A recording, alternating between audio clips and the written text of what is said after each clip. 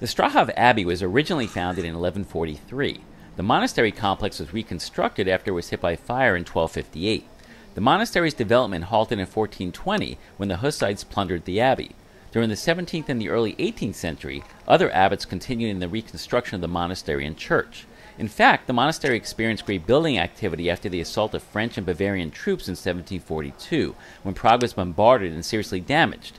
Most of the medieval Gothic buildings were rebuilt in Baroque style. Overall, the Strahov Library, which is located inside this building, contains over 200,000 volumes, including over 3,000 manuscripts and 1,500 first prints stored in a special depository. Many of the works are from 1501 to 1800.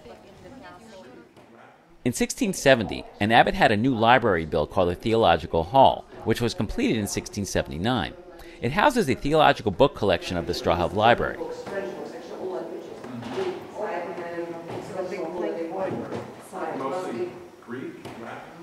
Uh, actually, and before uh, there was the printing books, because the printing started in the 15th century.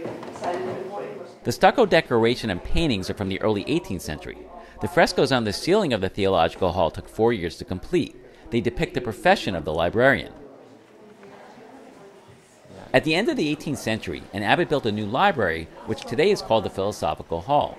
The two story high hall contains over 42,000 books, many of them rare. The room is a shrine to knowledge.